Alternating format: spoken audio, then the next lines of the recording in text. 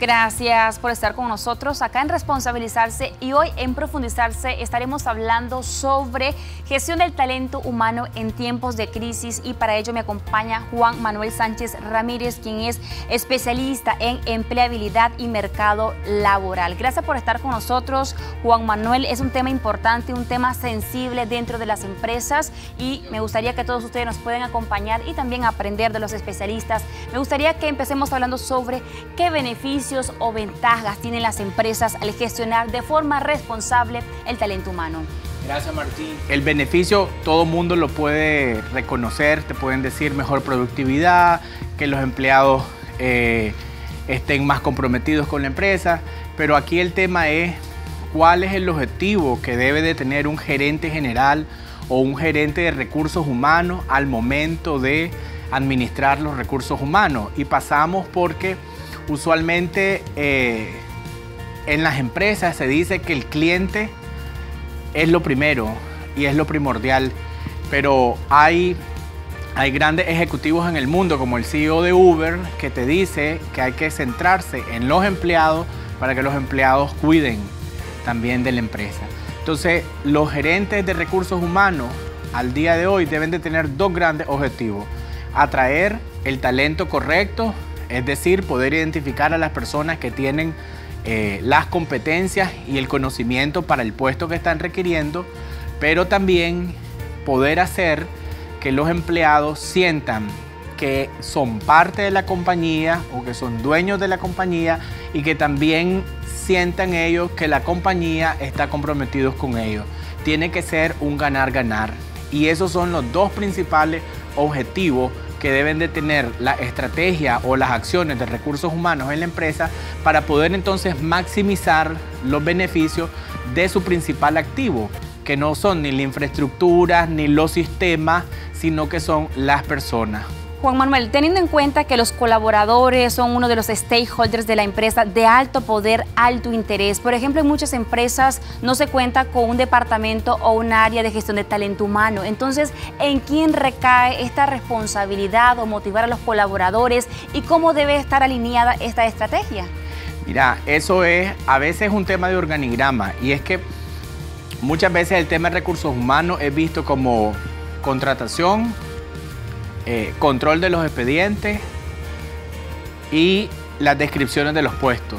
Y entonces se quiere contratar a una persona, aunque sea un técnico a nivel técnico, para que vaya manejando la planilla y vaya eh, administrando eh, el personal.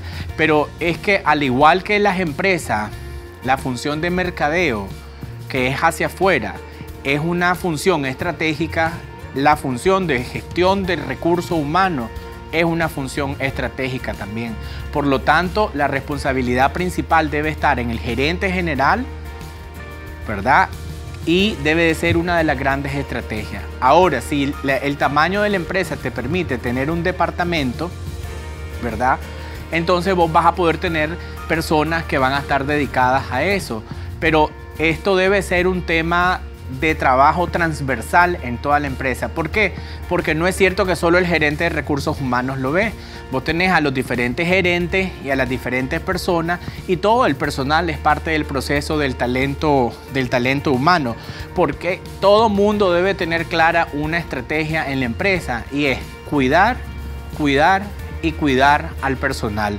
Sobre todo en tiempos de crisis, ¿verdad? Cuando las cosas se ponen duras, ya no sea por, las, por crisis como las que estamos viviendo en el país ahora, pero también hay momentos en que el mismo mercado eh, te genera o te da una crisis, o momentos en que por no saber manejar a tu personal tenés crisis también en, la, en las empresas. Y entonces ahí es importante de que desde el gerente general hasta la última persona en la empresa estén conscientes que el manejo de recursos humanos es un estilo de liderazgo que debe de tener todo el personal, que usualmente ha sido en Nicaragua, ha sido liderar, por ejemplo. Entonces el jefe se siente jefe, él te indica qué hacer, quiere que los demás te sigan, ¿verdad? Y entonces les enseña y eso hace algo, tiene un efecto eh, bueno a corto plazo, pero es limitado a mediano plazo. Porque no permite que los demás, las demás personas vayan generando creatividad o innovación porque solo aprenden lo que el líder que hace, por ejemplo, enseña. Y nos limitamos al conocimiento de ese líder.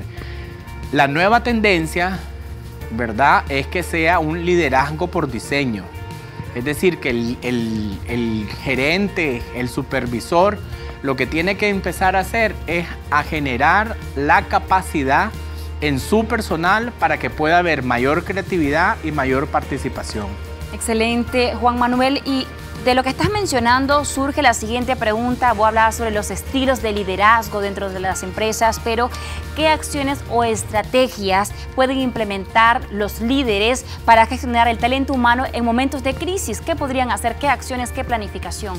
Mira, a veces, y, voy a reformularte otra vez porque usualmente creemos eh, que para atender en temas de crisis, entonces ya hay que ver, eh, lo primero que hacen las personas es correr, ¿verdad? Y a veces te enfrentas a que el mercado te generó un shock en tu empresa y no tenés otra más que, en realidad despedir a las personas porque no, no estás teniendo los ingresos suficientes.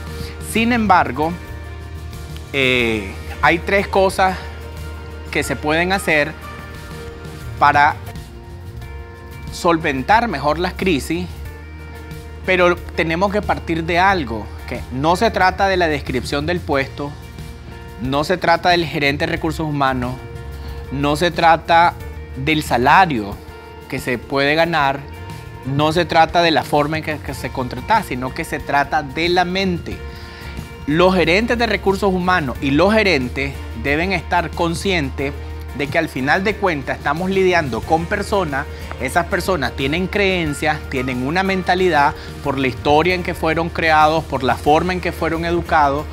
Y el gerente de recursos humanos o los jefes o los gerentes en las diferentes empresas deben saber trabajar con la mente para poder entonces generar en los empleados ese nivel de creatividad. Una pregunta que es importante en estos momentos y es cómo retener el talento en la empresa en tiempos de crisis. Bueno, ahí vamos a hablar, en tiempos de crisis es sumamente primordial lo que te acabo de decir de mantener ese balance de recompensas y amenazas, ¿verdad? Porque cuando no cumplís, por ejemplo, las ventas, vos tenés muy probablemente a un gerente comercial que está empujando, empujando y reclamando que no se llegan a las ventas. Entonces todo el mundo se siente amenazado, pues voy a perder el trabajo, voy a hacer y, y entonces se baja la motivación, se baja el compromiso y hay más protección. Pero lo otro que yo por experiencia lo, lo he tenido tiene que ver con comunicación. Entonces, en tiempos de crisis la comunicación es importante y ser transparente. Es decir, si estamos teniendo bajos ingresos, eh, y de repente vamos a tener que despedir, pues entonces hay que hacerlo transparente, hay que hablarlo, hay que ser honesto, hablarlos con todos, hacerlos partícipes de la, de la decisión, ¿verdad? O si se van a tomar medidas, hacerlos partícipes. Pero yo creo que yo te podría dar eh, soluciones legales, pues, que flexibilidad en el horario, que eh, hacer ajustes en las contrataciones, que utilizar, por ejemplo, eh, ocupar los pasivos laborales, que vacaciones para dar un tiempo y esperar si la crisis cambia o no cambia. Pero si vos en el fondo no haces que la persona, el colaborador, se sienta que es parte de las decisiones duras que tal vez está tomando la empresa o que es parte de la solución a la crisis que, que está tomando la empresa, va a ser muy difícil que lo retengas. Porque suponete que no sea una empresa eh, como las que estamos ahorita en Nicaragua, que todos estamos en crisis, sino que es en una industria que está teniendo un problema de mercado, esa persona fácilmente se sale de esa empresa y se va a otra empresa que tal vez está mejor entonces, si sos alguien que trabajas en administración, en contabilidad, vos te puedes ir de una empresa y te vas a otra empresa que no tiene problema. Pero ¿cómo retener a esa persona que tal vez lleva años de trabajar contigo eh, para que siga y no te, te baje tu nivel de productividad? Es comunicación, compromiso, como te decía al inicio, hacer lo que la persona sienta que es parte de la empresa y que la empresa también se interesa por ello. Muchas gracias, Juan Manuel Sánchez Ramírez, especialista en empleabilidad y mercado laboral. Excelente tus recomendaciones y tu aporte. Gracias por habernos acompañado hoy en Responsabilizarse. Gracias, Martín. Hacemos una pausa comercial y al regresar en el segmento Innovarse estaremos hablando sobre el caso Campo Frío. Quédese con nosotros en Responsabilizarse.